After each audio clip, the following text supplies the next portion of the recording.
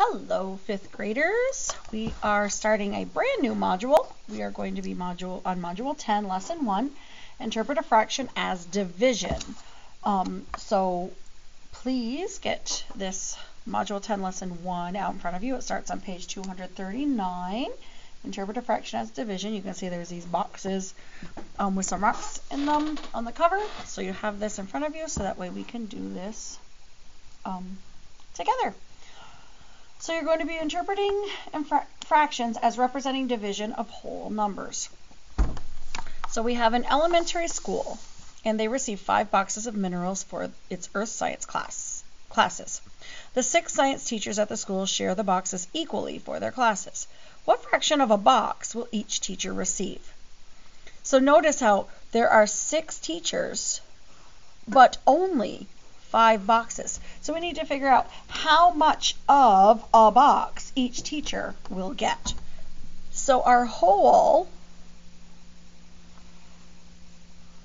are the five boxes, right? Are, are, a box. Let's just do, we'll just do one box at a time. And we're going to take each box, and each box is going to have to be broken up into six pieces for the six teachers. So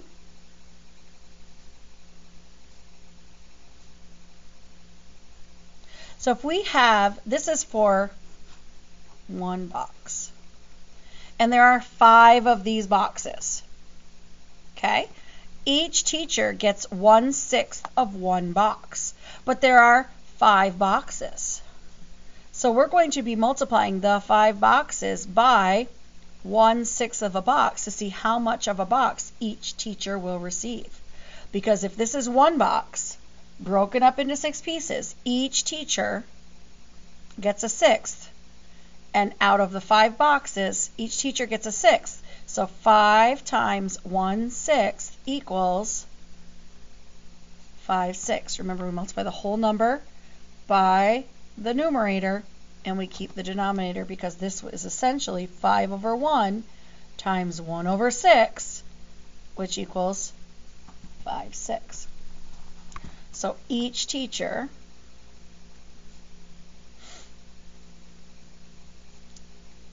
will receive 5 sixths of a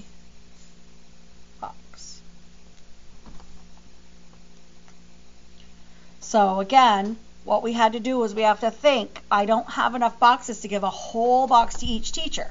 So I'm going to have to take each of the boxes, break it up by the six teachers, and then because I have five of these, I'm going to multiply 5 times the 1 6 that each teacher is going to get. So that means that each teacher will get 5 6 of all the boxes, or total.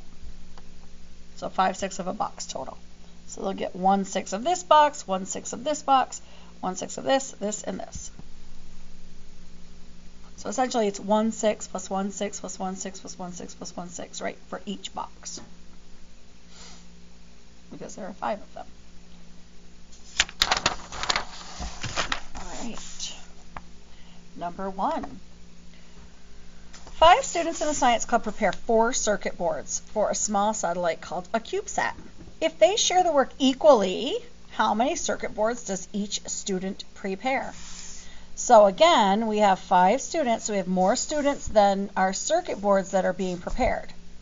So if we have, here's our four circuit boards,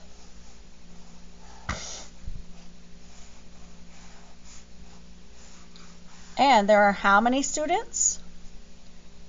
There are five students.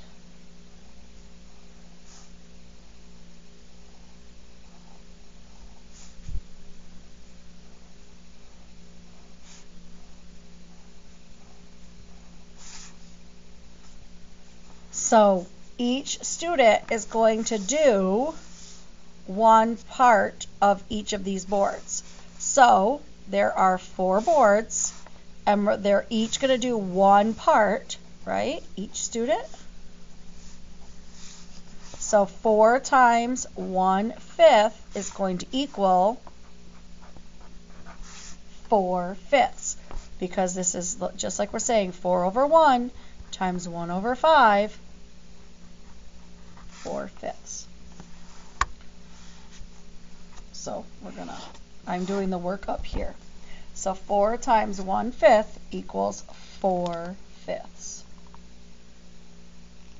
Okay, so each student will come will prepare 4 fifths of the circuit board.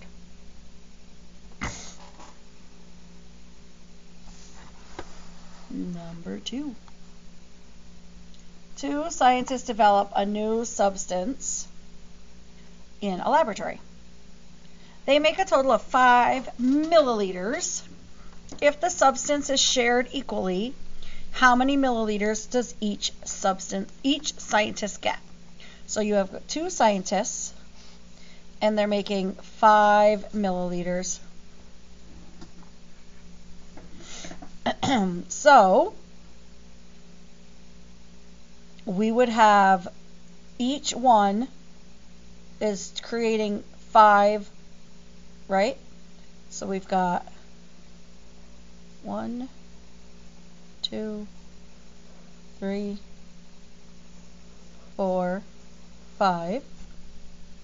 And then if they split each milliliter in half, right?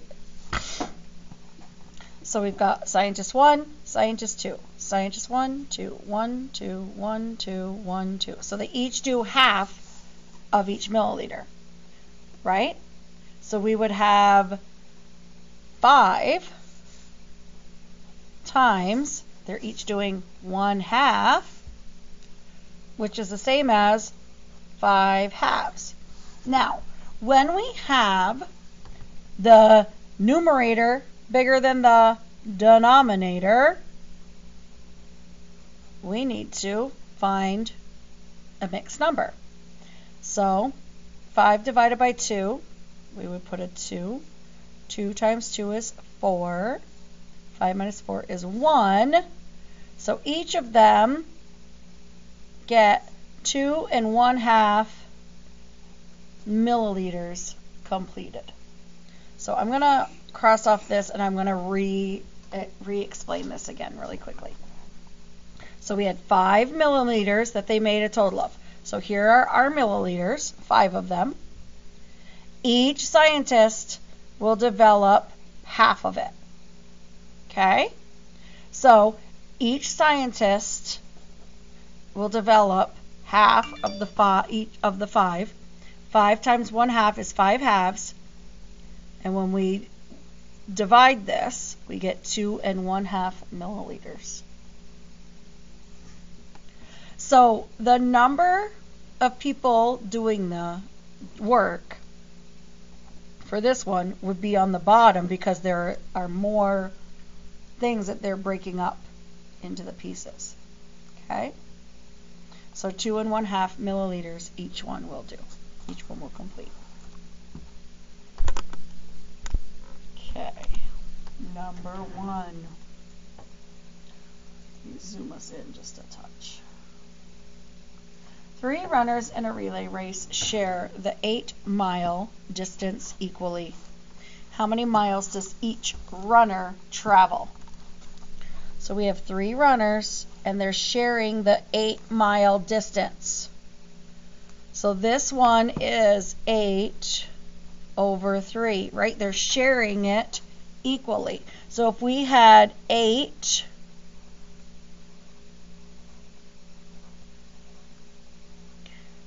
Pretend that's our miles, right? And we're sharing it equally. By each mile is shared by the three runners. We would have each runner is going to do, we're going to have one third times 8, which is the same as 8 over 3, right? So I took my 8 over 3. Now, when I divide this out, we would have 2. 2 times 3 is 6. 8 minus 6 is 2. So we would have 2 and 2 thirds, right? Your remainder goes over that, over your the number you're dividing into, mile. So each runner will run 2 and 2 thirds miles.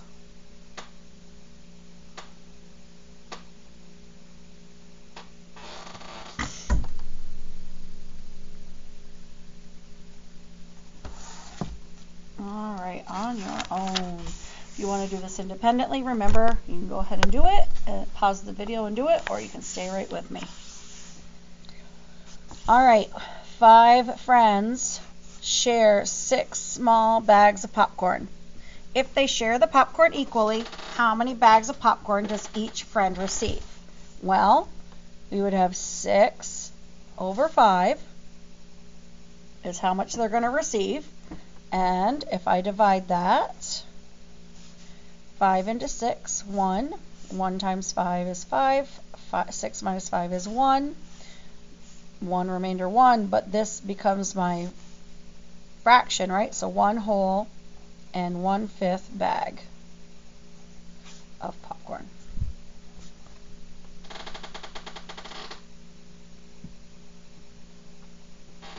Twelve friends shovel snow from eight identical driveways. If they share the work evenly, what part of a driveway does each friend shovel? So we have less driveways than there are friends.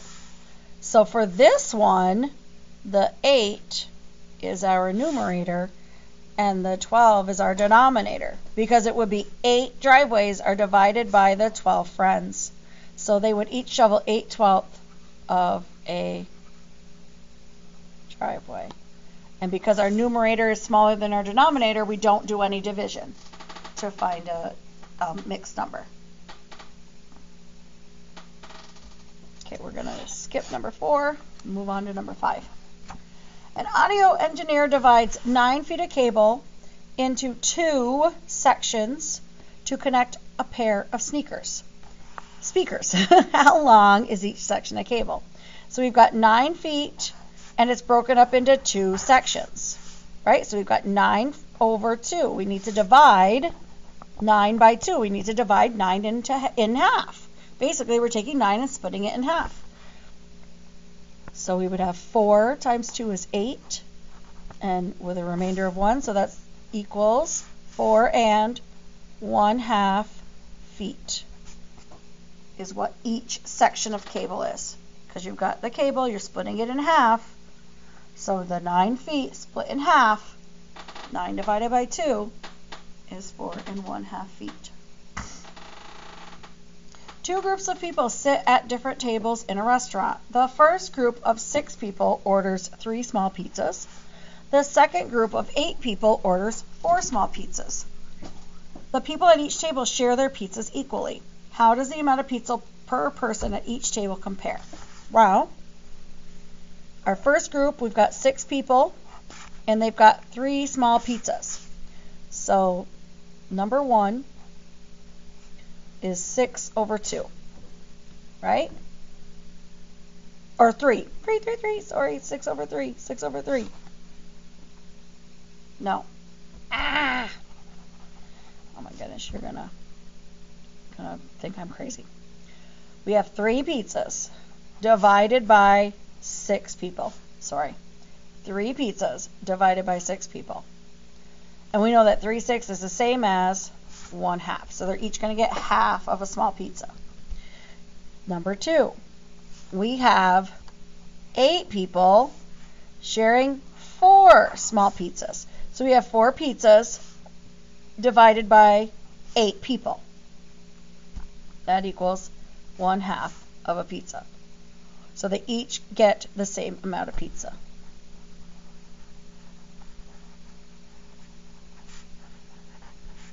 Sorry, I messed that one up.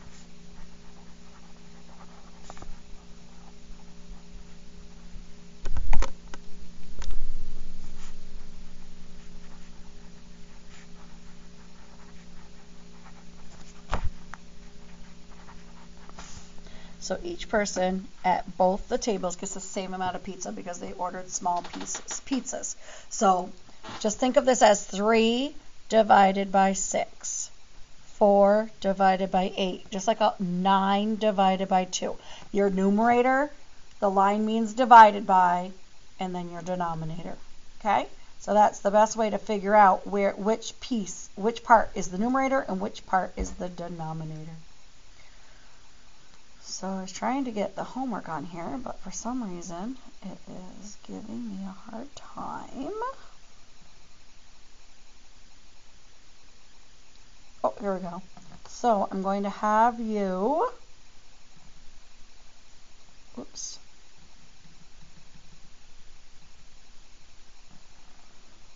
um, complete one, two, three, four, five,